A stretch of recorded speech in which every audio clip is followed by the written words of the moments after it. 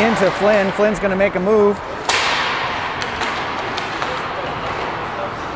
And it's popped back out to Carruthers. Carruthers gives it back to Flynn. This time a poke check. And up and out of play goes the deflected